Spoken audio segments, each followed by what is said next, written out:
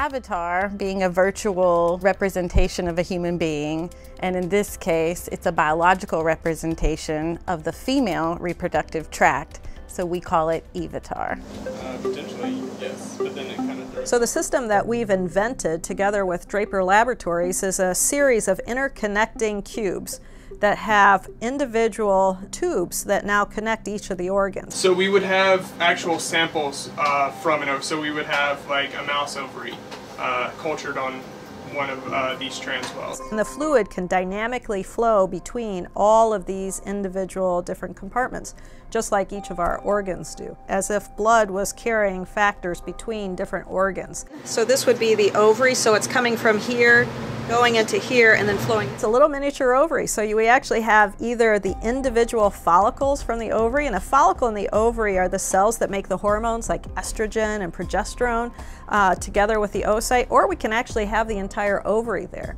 And that allows us to control the hormones over a 28 day menstrual cycle in a box. So understanding how the uterus responds to hormones is really important.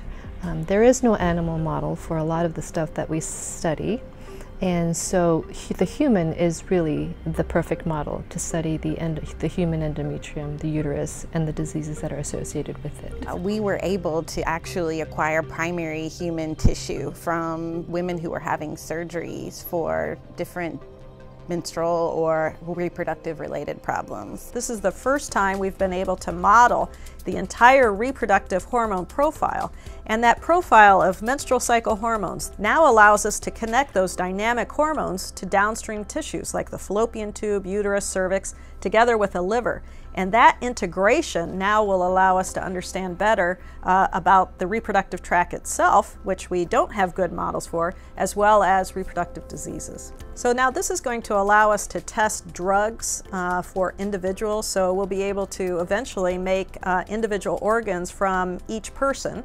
So we'll be able to do personalized medicine. It's really going to open a whole new world of reproductive health testing.